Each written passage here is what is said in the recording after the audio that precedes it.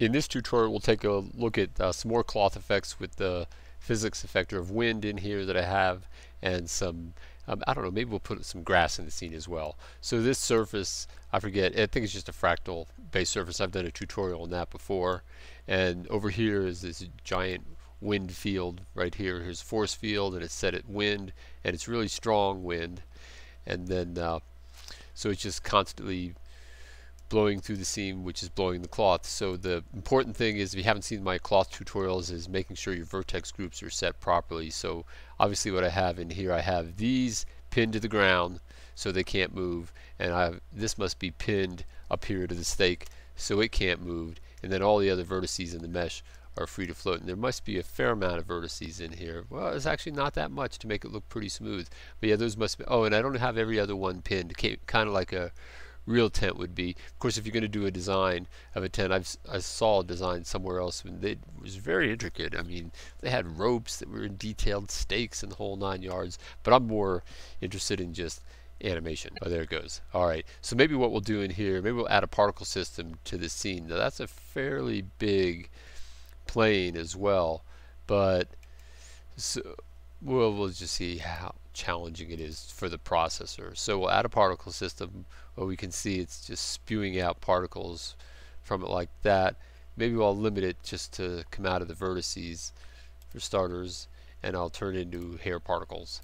Mm hmm Like that. And I know the wind can affect this, but that's to such a great extent. Yeah, it must be the wind that's doing it. In fact, we'll verify that by grabbing this particle and we'll just rotate it on X and we'll see. There it is. So the wind effector is affecting the particles in the scene like that for the grass.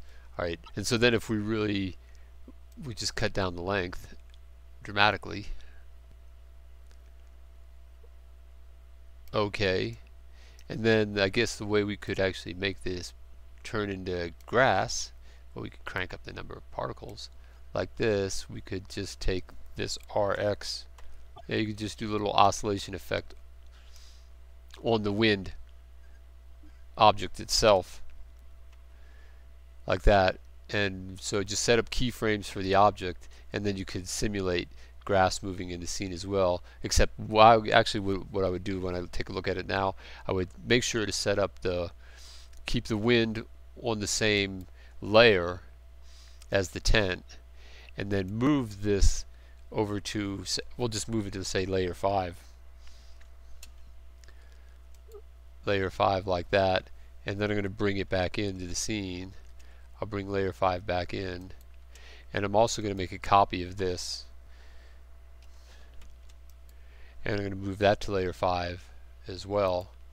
And I'm going to bring that back into oh he's already in the scene. So now I have two layers. So I want the one on layer 5 see notice when I click between them the orange dot switches here. So they're actually just two things affecting it and then this one so if I rotate this one here you'll see the grass change. But if I get the one that's on layer 1 and rotate that one the grass doesn't change.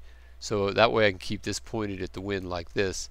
Then I'll go get the other one and I'll start it over here at, I'll pause this for a second and I'll just put a rotation keyframe in here. And then I'll we'll just rough it out real quick and then I'll put another rotation keyframe in there like that. This just kind of gives you an idea.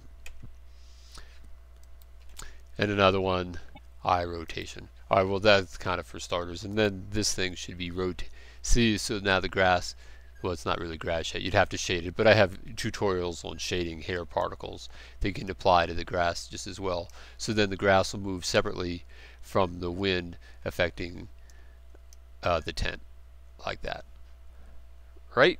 All right, well, I hope that gives you some ideas for your own animations, and I'll see you in the next lesson.